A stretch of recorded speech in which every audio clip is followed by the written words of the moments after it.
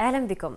حصلت بلدية رام الله على تصنيف A وفق تصنيف صندوق تطوير وإقراض البلديات كأعلى تصنيف على مستوى الوطن وذلك بناء على عدة معايير. بالتأكيد نبارك لهذا الإنجاز لبلدية رام الله مع المهندس موسى حديد رئيس بلدية رام الله. يسعد صباحك. يسعد صباحك. أول شيء مبارك فوزك بالانتخابات يعني مضى عليها وقت كبير شكرا. بس يعني هذا أول لقاء بعد فوزك بالانتخابات وأكيد نبارك لكم على هذا الإنجاز. يعني أكيد بهمنا نعرف شعوركم كبلدية بهذا الإنجاز يعني وحصول بلدية رام الله كأعلى تصنيف. اولا صباح الخير لجميع المشاهدين. وأشكرك على التهنئة. بلدية رام الله حصلت على هذا التصنيف طبعا لأول مرة وكأعلى تصنيف على مستوى الوطن وهذا جاء بعد يعني جهد وعناء وعطاء أيضا من قبل البلدية من قبل طواقم البلدية حتى نتقدم في في تصنيفنا في في صندوق تطوير واقراض البلديات. يمكن مهم نحكي شوي عن الصندوق اولا إنه هذا الصندوق هو الذراع المالي لوزارة الحكم المحلي.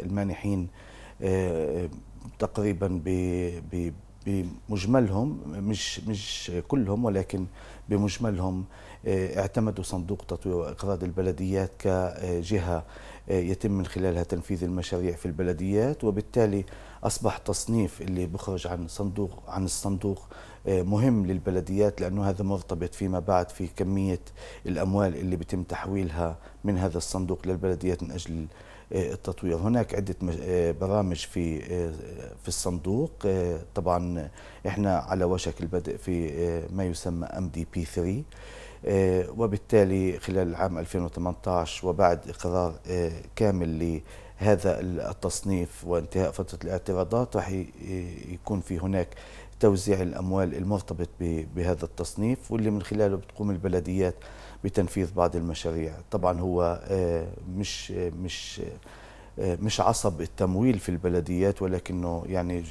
جزء أساسي في في بعض المشاريع.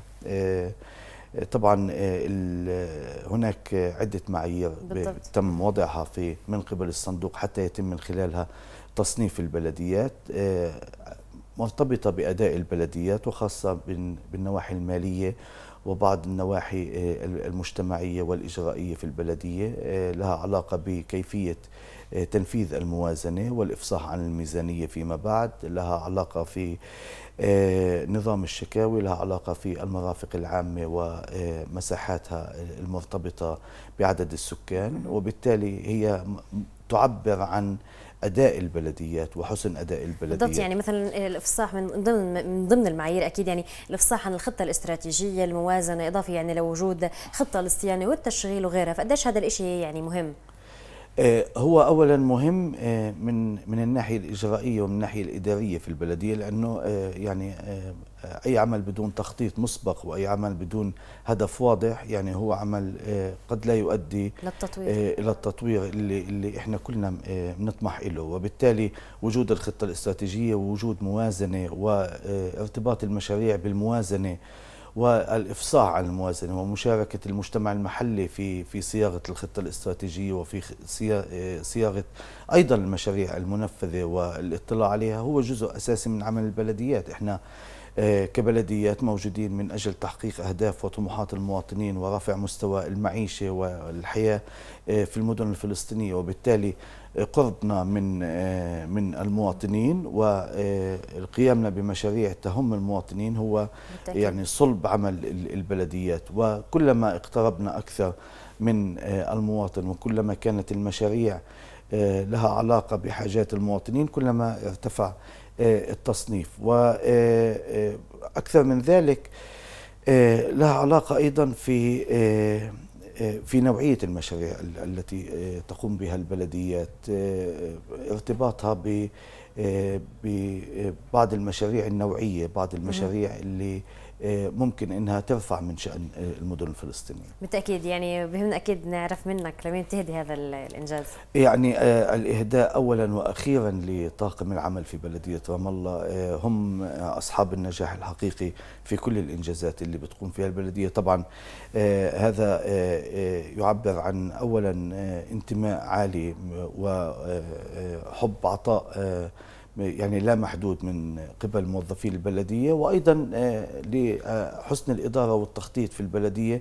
بلديه رام الله من أوائل البلديات اللي صاغت خطة استراتيجية على مستوى الوطن وهي أيضا آه، يعني متقدمة في كثير من المجالات اللي لها علاقة في تطوير الأداء وفي رفع قدرات و آه، إمكانيات الموظفين من خلال الدورات يعني التدريبية ومن خلال التعرف على أحدث الأنظمة والخبرات الموجودة في العالم. يعني خاصة يعني شهدنا إحنا يعني في تطور اجتماعي اقتصادي في المدينة بحيث بتفهم بالحيوية وفي كثير ناس بتيجيها يعني وحتى يعني موجود بيسكنوا فيها من كافة يعني أنحاء الضفة كمرك يعني بيشتغلوا فيها. فإيش تعليقك على هذا الموضوع؟ آه هو تحدي وفرصة في آن واحد. يعني آه فرصة بمعنى إنه يعني آه مش كل مدينة آه مش بس فلسطينيا على مستوى العالم عندها هاي المقومات إنها تكون جاذبة ومستقطبة لأنه الناس تحب تسكن فيها.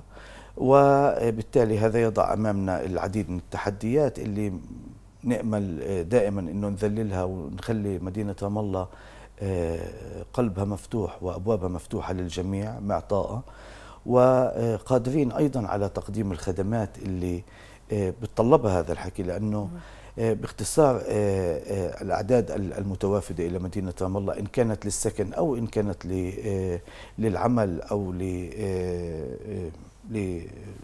تمتع مثلا للتمتع وللترفيه هذا هذا يضع العديد من التحديات أمام البلدية ودائما نقول بأنه آه، إحنا بننظر لهذا على إنه فرصة إيجابية للمدينة من أجل تطويرها ومن أجل النهوض بواقعها. أكيد، يعني هي عمالها بتزيد يعني الناس عم تيجي أكثر وأكثر وأكيد كمان بنلاحظ إنه لسه أزمة السير موجودة، آه، خاصة إنه إحنا عمالنا بندخل هل رح ندخل هلا أكيد على عام دراسي جديد، فإيش رح إيش خطة البلدية بخصوص هذا الموضوع؟ آه طبعا آه يعني هو مش مش شيء جديد. آه إحنا حكينا عن عن موضوع أزمة السير في في أكثر من لقاء حتى في في خلال الفترة السابقة إلي كرئيس بلدية. وقلنا إنه إحنا في عندنا خطة شاملة للموضوع. بدأنا بتنفيذ الجزء الأول منها. طبعا حبينا إنه نوقف لفترة حتى الناس تتأقلم مع التغييرات.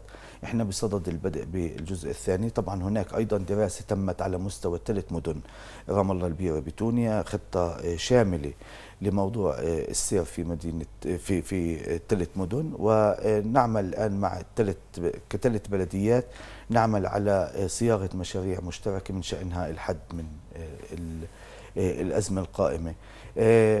ولكن آه، بكل بكل موضوعية وبكل حب أقول بأنه الجزء الأكبر من الأزمة اللي موجودة هي أزمة في السلوك وليس أزمة في في السير، إحنا معروف إنه شوارع المدينة هي شوارع قائمة من من عشرات السنوات وبالتالي إحداث فرق حقيقي على الشارع قد لا يكون بالأمر السهل على البلديات. ولكن المشاهد أيضا إنه هناك العديد من السلوكيات الخاطئة على الشوارع هي تكون أحد أكبر مسببات الأزمات اللي بنشهدها. إيه، إيه، مجرد تطبيق النظام واحترام الملك العام احترامنا لبعضنا البعض على الشارع. أعتقد إنه إحنا بنقدر نتجاوز 70% من الأزمات أكيد وبعدين أكيد يعني الناس يعني بعد هذا التصنيف وهذا الإنجاز الناس أكيد بتتامل إنه فعلا يكون أكبر. بالضبط نعم. إنه يكون في تط... يعني دائما تطور آه، ومتابعة. خلينا نحكي على يعني كل شيء كل أزمة وكيف حلها وتط... يعني تطور بناء على المرحلة اللي إحنا عايشين فيها. كمان في كثير ناس بنعرف هلأ ازدياد المجمعات التجارية في الأحياء السكنية كثير عم بيصير هلأ وكثير ناس عمالها بتشتكي من هذا من هذا الموضوع. زيادة في المجمعات؟ إنه ازدياد المجمعات التجارية في في المناطق السكنية. ويعني في بصير أزمة في هاي المناطق السكان بيتضايقوا بيشتكوا والمحلات. يعني إذا فهمت السؤال صح إحنا بنقول إنه في عندنا آه، آه، يعني, يعني في كثير محلات تجارية موجودة في, في المناطق السكنية.